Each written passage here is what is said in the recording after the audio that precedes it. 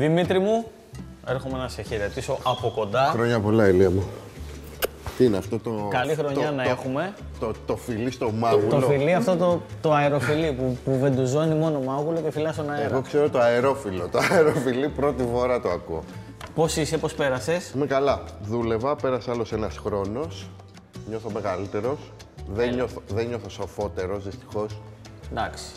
Νιώθεις σαν το παλιό καλό κρασί που οριμάζει χρόνο με το χρόνο; Νιώθω σαν το παλιό κακό κρασί Α. που απλά γίνεται χειρότερο χρόνο με το Βάζει χρόνο. αξίδι. Κοίτα, καινούρια χρονιά, καινούριε συνταγές, καινούριοι καλεσμένοι, καινούριοι φίλοι. Οι ίδιοι εμείς οι δύο. Εμείς οι δύο ίδιοι, δυστυχώς. Πρέπει να σχολιάσω ότι μου αρέσει πάρα πολύ. Δεν το έχω ξανακάνει ποτέ στην εκπομπή να σχολιάσω ρούχα, αλλά μου αρέσει το σακάκι που φορά σήμερα. Ναι, είναι που κάμισο σακάκι. Μπράβο. Μου αρέσει πάρα πολύ που είναι γυρισμένο. Παιδιά, το έχετε δει αυτό. Τη δεκαετία του 80 βγάζανε μεγάλα σακάκια με βάτες και ο παρουσιαστής σήκωνε το μανίκι για να φανεί η φόδρα. Οπότε ο Ηλίας έχει πάρει λίγο έγκλη από τη δεκαετία του 80 σήμερα. Και συνταγούλα από δεκαετία 80. Πρέπει να πούμε ότι σήμερα η συνταγή είναι παλιά, κλασική, ε, γαλλική συνταγή. Ναι. Αγαπημένη όμως. Πάρα πολύ. Και πρέπει να πούμε ότι σήμερα έχουμε καλεσμένο έναν άνθρωπο ο οποίος κάνει θέατρο, τηλεόραση, είναι συγγραφέας, έχει διασκεδάσει το ελληνικό κοινό για πάρα μα πάρα μα πάρα πολλά χρόνια. Πάρα πολλά χρόνια. Και επίσης δεν γερνάει, παραμένει ίδιος. Με κάποιο μαγικό τρόπο. Με κάποιο... Θα το μάθουμε, θα μας πει. Ωραία. Ας τον υποδεχτούμε λοιπόν.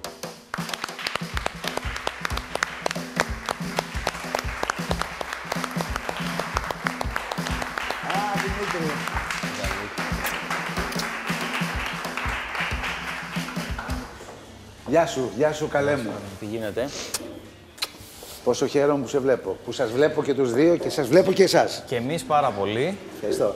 Κάθομαι εδώ. Ναι, ναι. Έλεγα λοιπόν τώρα στον Ηλία, ρε παιδί μου, ότι εγώ σε βλέπω χρόνια. Ε, εντάξει, στην ελληνική τηλεόραση περισσότερο, γιατί θέατρο δεν πολύ πάω, δεν είμαι του θέατρου. Και ξέρεις τι παρατηρώ.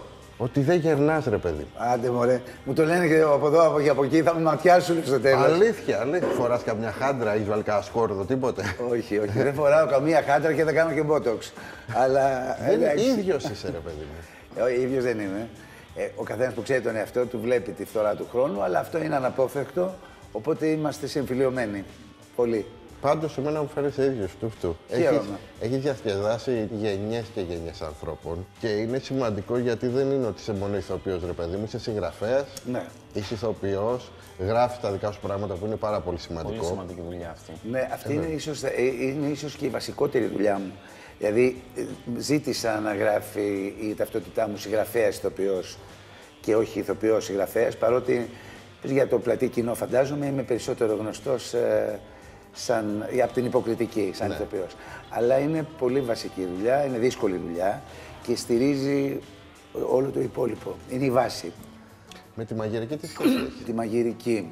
Είναι, πιστεύω ότι σε μια επόμενη ζωή, για να μπω σε μια προηγούμενη, ότι μπορεί να υπήρξα μάγειρας, ε, ότι σε μια επόμενη πρέπει να, πρέπει να γίνω μάγειρας οπωσδήποτε. Τώρα εσύ είσαι σκαρμούτσος και εγώ είμαι ένας απλός μούτσος της κουζίνας. ναι, αλλά με την ίδια λογική, μήπως ο Δημήτρης σε μια επόμενη ζωή να γίνει ηθοποιός, συγγραφέας; ε, Πάντως έχει μια ακτινοβολία που θα μπορούσε να τον οδηγήσει και εκεί. Να σε κεράσουμε ένα καφέ; Βεβαίως. Σπίτι ποιος μαγείρευε, παλιά; Η μητέρα μου μαγειρεύει ωραία ε, και ακόμα μαγειρεύει καλά. Ε, μάλιστα κάποτε μαγειρεύε εξαιρετικά. Και κάποιες θείες μου σε κα- κατά διαστήματα κάνανε εξαιρετικά πράγματα. Και είχαμε και μία βοήθεια κάποτε στο σπίτι, έναν άνθρωπο δηλαδή, που ήταν επαγγελματίας, τόσο καλά, που μας μαγείρευε και έτσι και η μητέρα μου μαζί με αυτόν τον άνθρωπο κάνανε θαύματα κάποια στιγμή. Έχω συνηθίσει το καλό φαγητό δηλαδή. Ρίζες, καταβολέ από πού έχετε; Ο πατέρας μου είναι από την Κεφαλονιά. Ε, ήταν από την Κεφαλονιά, γιατί τώρα έχει πεθάνει. Και η μητέρα μου είναι από διάφορα μέρη η καταγωγή της. Ε, και, και λίγο εξώτικα, έτσι. Οπότε, Exotic; ο παππούς μου δηλαδή, ο πατέρας της, ε, ο, ο αληθινός, ε, γιατί μετά ξαναπαντρεύτηκε η γιαγιά μου, ήταν και στην Αίγυπτο, δηλαδή ήταν... κατάλαβα. Ναι, στη Ρουμανία, Α. ε, φαναριώτες. Πολίτης του κόσμου. Πολίτης του κόσμου, ναι, πραγματικά. Πραγματικά. Έχει σχέση καθόλου με γαλλική κουζίνα; Δηλαδή, θα μπορούσες να δεις τον εαυτό σου όταν γίνεις σεφ την επόμενη ζωή να είσαι Γάλλος σεφ με ψηλό καπέλο; Άσπρα ρούχα κτλ. Λοιπόν, εγώ πιστεύω ότι η πιο σημαντική κουζίνα ε, και η βάση της καλής κουζίνας είναι πάντα η γαλλική.